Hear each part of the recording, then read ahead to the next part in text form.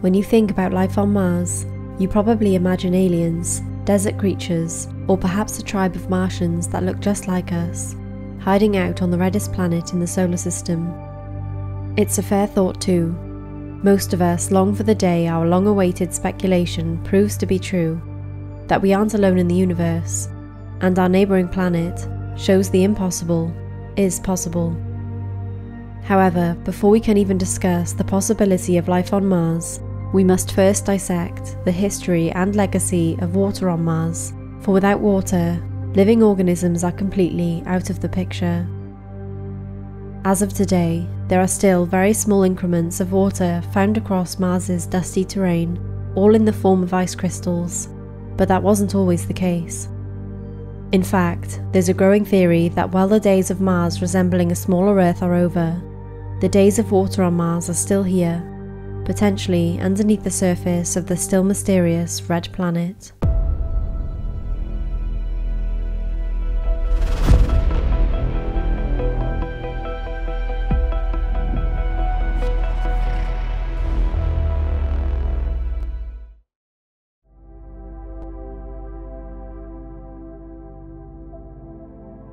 Before we dive into the subterranean levels of Mars to search for water, we must first understand the history of water on Mars, the signs that point to its aquatic evolution, and how water from above eventually sank solely below.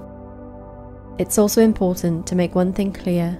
As of present day, it is physically impossible for liquid water to exist on most of Mars's rugged surface, outside of its absolute lowest elevation points. It has nothing to do with the planet's distance from the Sun or levels of oxygen, but rather the vastly lower atmospheric pressure when compared to Earth's. Mars's atmospheric pressure at ground level is measured at 6.518 millibars, or 0.095 psi. At sea level, Earth's pressure measures in at 14.7 psi, 99.4% greater than that of Mars for liquid water to be present, the pressure would have to rise well above its 6.5 threshold. Yet if we turn time back billions of years, these impossibilities weren't even a flap of a butterfly's wings. It's estimated by astronomers that a few billion years ago, Mars was covered in vast oceans of water, much like modern day Earth. The biggest clue scientists and historians have in their investigation is the geomorphology and unique landmarks found across Mars's surface. One of the most common landforms included in the evidence are outflow channels, large linear tracts of scoured ground etched into the crust. Mars features around 25 of these outflow channels around the planet. How the channels formed are a mystery to many, with experts calculating theories from prehistoric lava flow to the destructive process of glacier movement. However, the dominating theory is that water formed the outflow channels in the very early days of Mars's formation. Water can create swathes of scoured crust when subsurface aquifers, sections of saturated ground that provide water sources for wells or springs, release an inordinate amount of water that then erodes its surroundings over thousands of years. The largest of these potential water-bearing channels is Ma'adim Vallis, measuring at roughly 700 kilometers or 430 miles long, over 50% longer than Grand Canyon. Additionally, being 20 kilometers wide and 2 kilometers deep, a steady yet prehistoric water flow is the best guess at how these canyons transformed within the sedimentary rocks. Not all of the outflow channels are billions of years old, however, there are shallower and more recently formed tracks, and are estimated at only a few million years in comparison, much closer to modern history than the Big Bang. Other landmarks seen as evidence of water on Mars are the tree branch shaped valley networks littered across the oldest remaining stretches of the red planet's surface. These valleys are much smaller when scaled to Ma'adim Vallis and the outflow channels, but are much more spread out and cover a wider portion of Mars in general. Astronomers believe the network valleys formed as runoff water from actual precipitation in the early days of Mars's existence. Others argue it was due to the subsurface aquifers and that water was always below the surface, but the evidence points more towards precipitation. Mars also features several unique landmarks that are also found here on Earth, where water has been proven to form such properties. One of which are gullies, found in the canyons and certain craters of Mars that resemble the gullies of our planet. These are formed purely from running water through easily erodible surfaces like soil. Others range from dried river deltas to alluvial fans, a cone shaped section of ground formed by the buildup of sedimentary rocks and materials. Alluvial fans specifically are found in craters and historically are strongly associated with warm and wet climates. They are the leading clue for astronomers to assume Mars was once covered by crater lakes. Lakes themselves formed from volcanic activity and preceding rainfall or aquifers. Evidence of possible water on Mars doesn't stop with landmarks. Astronomers have used mineral readouts from rock samples on Mars to date back liquefied water on the red planet. Two of these minerals found in high quantities across Mars are hematite and goethite. Both minerals are customary iron oxides often found at the bottom of lakes due to a pattern of forming in bodies of water. Another unique mineral found on Mars is jarosite, a popular sulfate commonly associated with acid mine drainage and acidic water in general. While the specific type of content found in the prehistoric water of Mars is also unknown, acid water would fit within the parameters of Mars's initial formation. The final property of Mars's surface pointing in the direction of ancient water is the levels of deuterium recorded by various NASA rovers and instruments in the last 25 years. Deuterium is a stable isotope of hydrogen, also referred to as heavy hydrogen.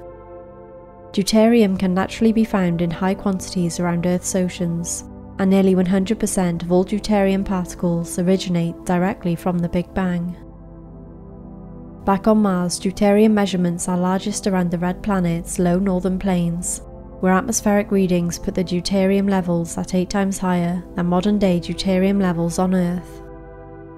There were also high levels of deuterium in the atmosphere around the Gale crater on Mars, a feature astronomers have long described as a dry lake where outflow channels leading away from the crater are quite prominent. These readings suggest not only did Mars feature vast oceans in ancient times, but that these oceans covered much of the planet with depths upwards of hundreds of metres.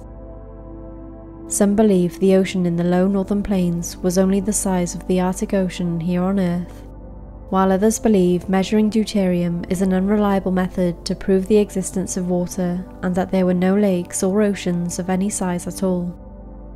In the end, despite various landmarks and sedimentary laden anomalies, scientists leave the history of water on Mars as unconfirmed territory, claiming the climate models built for the red planet's history simply do not leave enough evidence to prove water was ever liquefied, whether it was a few millions or a few billions of years ago.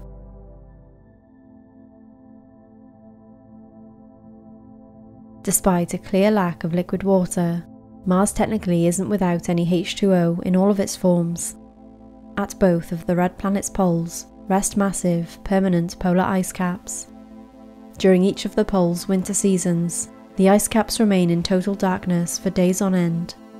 The entire surface becomes very cold, and upwards of 30% of the atmosphere converts to slabs of dry ice, or ice made of CO2. After the winter season's end, the polar ice caps are once again exposed to sunlight. Once the sun heats up the poles, the ice sublimes, going from a solid to a gas. The intense sublimation across the atmosphere increases the transfer of water vapour and dust particles across Mars, creating a slight frost on the surface and a buildup of water-filled cirrus clouds in the sky. The northern ice cap is made up of about 70% water ice and has six periods where the water ice is directly exposed to airspace. The southern ice cap is permanently covered by a sheath of dry ice, even during warmer seasons, but is predicted to eventually weather away millions of years down the line. If the atmospheric pressure and weather patterns on Mars were to ever change significantly enough to heat the planet, and the polar ice caps on either end melted, there would be enough liquid water to submerge the entire planet in an equal depth of 1.5 metres. Many of NASA's scout missions across Mars have also led to conclusive evidence that water is more prevalent on the red planet than previously thought. One of these scouting endeavours came in March 2007 when the rover named Spirit found chemical compound samples that contained trace amounts of water molecules. Another positive discovery came six years later in March of 2013 when Curiosity pulled up rock samples on Mars with evidence of mineral hydration. The rover then used its DAN instrument to scan the ground and perform a deep dive into potential subsurface H2O. Its findings were promising to say the least. On a trek between landing zones on Mars, Curiosity detected 4% water content at depths up to 60 centimetres or 2 feet under the red surface. On multiple occasions, once in September of 2015 and then again in February of 2020, Scientists at NASA found water molecules trapped in the salt crystals flowing through hydrated brine flowage on slope lineae. The brine flows only in the Martian summer at incredibly quick intervals, but appears to come from shallow aquifers right under the topsoil. There was also an instance in 2021 when a research device sponsored by the European Space Agency called the ExoMars Trace Gas Orbiter relayed signs of subsurface water existing in Valles Marineris, a canyon system larger than any other non Earth rift in the solar system. The biggest finding came in 2017 when the Mars Reconnaissance Orbiter photographed 100 metre thick water ice sheets using its ultra powerful HiRISE camera.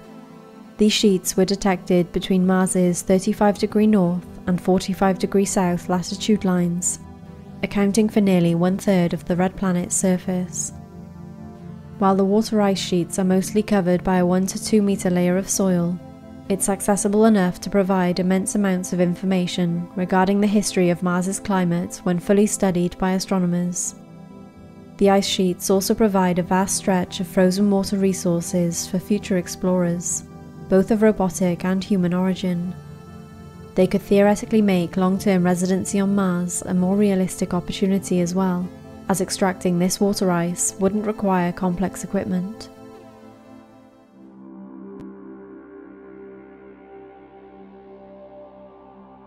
With all of the modern day research suggesting Mars's water truly exists underneath the surface, the only question left to answer is why.